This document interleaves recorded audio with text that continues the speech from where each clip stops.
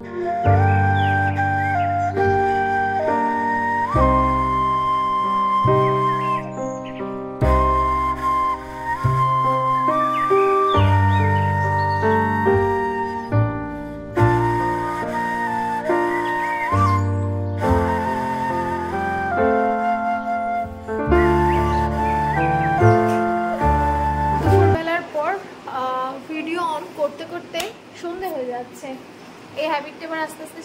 করতে হবে। ব্লগিংটা মোস্টলি আমার নাইট সেন্ট্রিক হচ্ছে। রাত্রিবেলা করেই ব্লগিং করছি, কী করব সময় পাচ্ছি না। এতটা হেকটিক হয়ে যায়। সকালবেলার পর এই জাস্ট সবেমাত্র লাঞ্চ করলাম। বিকেল পাঁচটায় আজকে লাঞ্চ করেছি। এখন না মানে রিসেন্টলি জবে থেকে এই দুপুর দুটোর সময় আমি ইয়ে ইয়েতে কী বলে ফেসবুক লাইভে বসছি। তারপর না, কেন জানি না, আমার হাতে আর একটু সময় থাকছে না। উঠতে উঠতে আমার অনেকটা লেট হয়ে যাচ্ছে।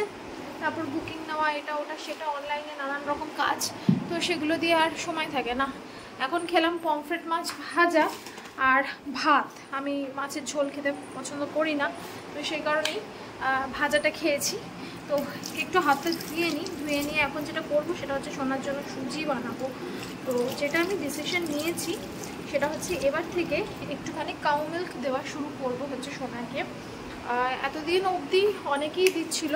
আমার অনেক বান্ধবীরা, তাদের বাচ্চাদের, যারা আমার ছেলের সাথে সমবয়সী। কিন্তু আমি দিচ্ছিলাম না এই কারণে। যদি হিতের বিপরীত কিছু হয়, সেজন্য। কিন্তু এখন দেখছি যে এবার একটু মানে ভাবতে হবে এই বিষয়ে। কারণ আমার ছেলের অলমোস্ট এক বছর হতেই চায়। তো এরপর আর কতদিন? যেহেতু আমার ছেলে মেইনলি এখন ফর্মুলা ফিডে রয়েছে, তো এবার একটু গরুর দুধটা আস্তে আস্তে শুরু করতে হবে। তো গরুর দুধ শুরু করার আগে অনেক রকম ক্রাইটেরিয়া থাকে, যেরকম পুরো গরুর দুধ মানে যেটা ক্রিম থাকে, তারপরে একটা হচ্ছে টোন্ট, যেটা ক্রিমটা কাটানো থাকে, এই সমস্ত টুকটাক দেখছিলাম যে কোনটা দেওয়া বেটার হবে।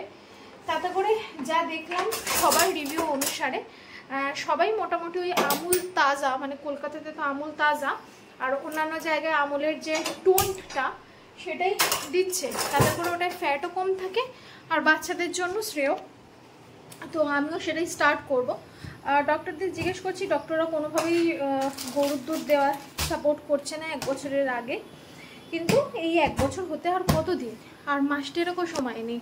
তো সেই জন্য আমি ভাবছি যে আমুল তাজার একটা প্যাকেট অর্ডার করব এবং আস্তে আস্তে দুধটা খুব বেশি পরিমাণে নয়, অল্প অল্প করে সুজির সাথে ভাতের সাথে, রুটির সাথে এবার দেওয়া শুরু করব। গমের কোনো কিছুই আমার ছেলে এখন এই মুহূর্তে খাচ্ছে না, যেহেতু এতদিন ধরে পটির সমস্যা চলছিল, কিন্তু এবার আর নয়, কারণ হেলথের ডিটোরিয়েশনটা অনেকটা বেশি পরিমাণে হয়ে গেছে।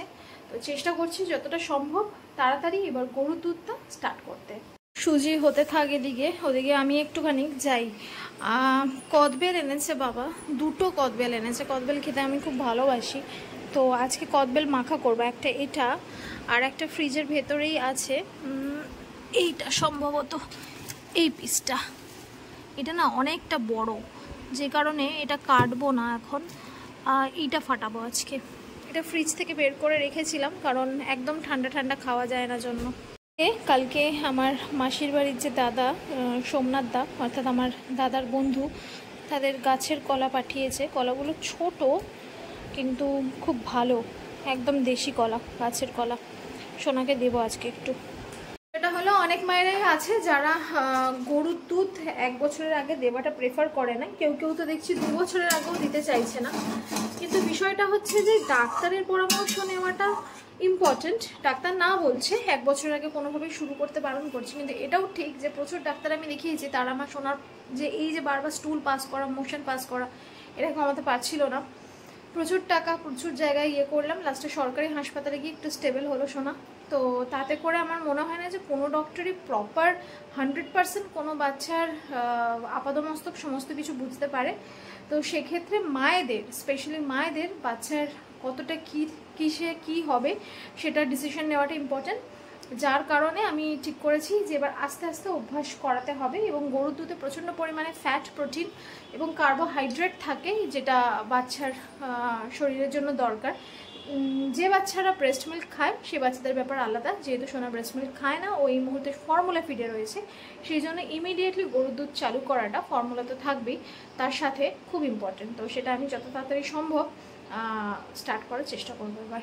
এইটেক স্পিডে ভিডিওটা রেকর্ড করা শুরু করলাম, কারণ এত কিছু মিশিয়েছি যে অল্প অল্প করে দেখাতে গেলে আজকে ভিডিওটা অনেক লম্বা হয়ে যাবে। তো প্রথমে একটা হামানদিস্তা দিয়ে ভালো করে ফাটিয়ে নিয়েছি, কদবেলটা কদবেলটা একদম কালো, কুচকুচে ছিল, একদম পেকে গেছে। তো দেখেই বোঝা যাচ্ছিল যে টেস্টটা খুব ভালো হবে। তো কদবেলে অনেকে অনেক কিছু মেশায়, কিন্তু আমি আজকে সর্বপ্রথমে যেটা মিশিয়েছি সেটা হচ্ছে ভালো করে একটুখানি লঙ্কা। তো আজকে খুব ঝাল ঝাল করে মেখেছিলাম এবং পরের দিকে যখন মুখে দিয়ে দেখছিলাম এত ঝাল লাগছিল যে তাড়াতাড়ি করে লঙ্কাগুলোকে তুলে সরিয়ে দিলাম। কারণ ওই লঙ্কাগুলো মুখে পড়লে খুব জ্বালা করবে, তবে কিছু লঙ্কা থেকে যাবে। তো যাই হোক, সামঞ্জস্য বজায় রাখার জন্য একটু চিনি দিয়ে দিলাম আর ধনে পাতা বের করে রেখেছিলাম। ধনে পাতা ছাড়া তো কদবেল মাখা অসম্পূর্ণ। একটু বেশি করে ধনে পাতা দিয়েছিলাম, কারণ আমরা ধনে পাতা খেতে খুব ভালোবাসি। বাবার রিসেন্টলি একটু গ্যাস হয়ে যায় জন্য বাবা ধনে পাতাটা খুব একটা যে ডায়েটে রাখতে পারে তেমনটা নয়। তো আজকে নুনের বদলে যেটা করেছি, ওটা জল জিরে মিশিয়ে দিয়েছিলাম। জল জিরে বা চাট মশলা মেশালে যে কতটা ভালো লাগে খেতে কদবেল মাখা বা যে কোনো ধরনের আচার চাটনি সেটা আমরা সকলেই জানি। তো জল জিরাটা মেশানোর পর একটু অল্প করে সর্ষের তেল দিয়ে দিলাম। সর্ষের তেল আমি সামান্য পরিমাণে দিই, নয়তো ওই কাঁচা কাঁচা সর্ষের তেলের গন্ধ থাকলে ভালো লাগে না। কিন্তু পরের দিকে মা বলল, একটুখানি নুন না দিলে টেস্ট হয় না। তো যার কারণে পরে আমাকে নুনটা অল্প একটু মেশাতেই হয়েছিল বই কি তো ফাইনালি আমার কদবেল মাখার লুকটা এরকম হয়েছে, এত লোভনীয় হয়েছিল যে কালকে একটা শট না দিয়ে আর পারলাম টনসিলে লাগছে। জিভে এত ঝাল লাগছে, খুব বেশি করেই ঝাল দিয়েছি। কাঁচা লঙ্কা। এই যে মহারাজা বসে গেম খেলছে। আমার এত কাজ আজকে। আলমারিটা গোছাবো, অনেকগুলো জামা কাপড় আছে, সেগুলো ইস্ত্রি করব। আর তাছাড়া ওই দুপাট্টা পেন্টিং যেটা করছিলাম, ওটাও কিছুটা বাকি আছে, করব। আজকে একটু নিচে যাব ভাবছি, কালকে পিসোরা সম্ভবত চলে যাবে। আজকে একবার দেখা করে আসবে, যেহেতু আমার পিসো খুব একটা ভালো নেই, অসুস্থ। তো আজকে একবার দেখা না করলে খুব খারাপ দেখাবে তো আজকে একবার যাবো তাড়াতাড়ি খেয়ে নিই খেয়ে বাকি কাজগুলো সেরে ফেলি ঝপঝপ করে এখনই যেতাম বেসিক্যালি নিচে সবাই সিরিয়াল দেখে এই টাইমে তো গিয়ে ওই চা খাচ্ছি সিরিয়াল দেখছি তার মধ্যে গল্প করতে ভালো লাগে না তো কিছুক্ষণ পরে যাবো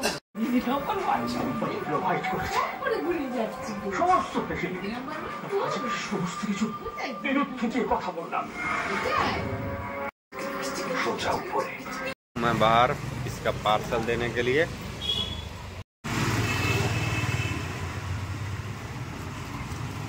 देना मेरा हो गया तो अभी बाहर आई हूँ तो मैं दूध का पैकेट ले जाता हूँ मामू के पास जा रहे हैं अभी दूध लेने के लिए और बस টাইম ছিল যখন আমার বড় পিসো ভীষণ অ্যাক্টিভ ছিল খুব খেতে ভালোবাসতো যে কোনো অকেশন কারোর বাড়ির বিয়ে কারোর বাড়ির পুজো মানে ওনাকে ছাড়া আমরা ভাবতে পারতাম না এবং ওনার অ্যাক্টিভ পার্টিসিপেশন যে কোনো অকেশনের জন্য এত ফ্রুটফুল ছিল যে যাই হোক এখন সে মানুষটা সেরকম নেই এবং আস্তে আস্তে আরও ভেঙে পড়ছে। সেটা চোখের সামনে দেখতে খুব খারাপ লাগে।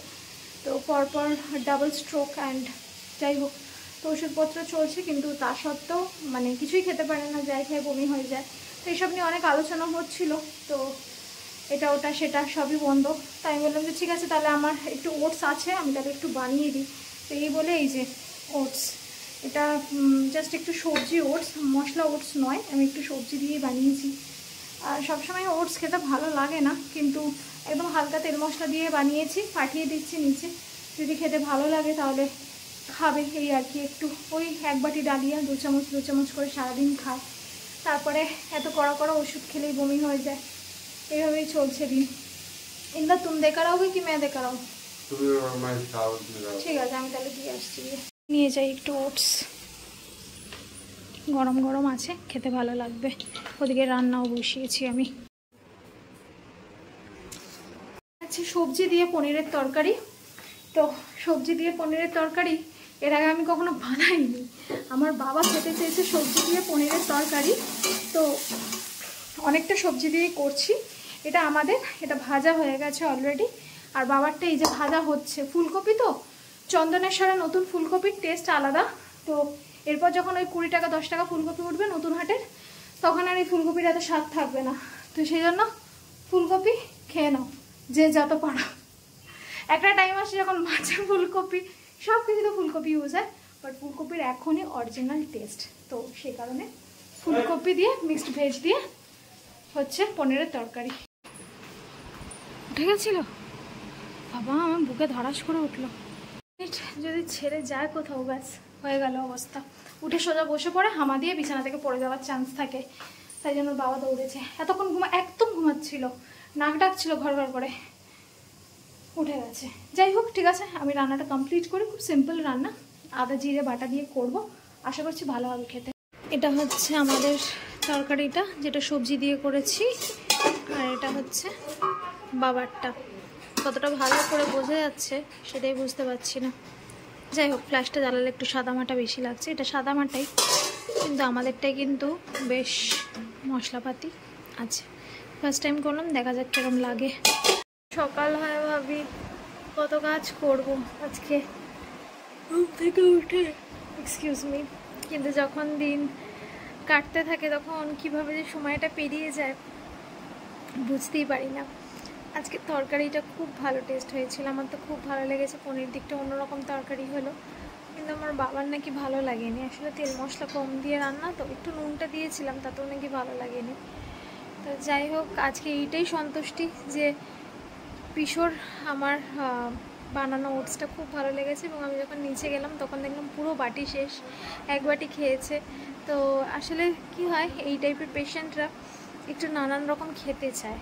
সব রকম আসলে খেতে পারে না তো খেলে বমি হয়, ওই জন্য যেইটুকু খেতে পারে সেইটুকুর মধ্যে ভ্যারিয়েশন চায় যেটা পায় না বাড়িতে।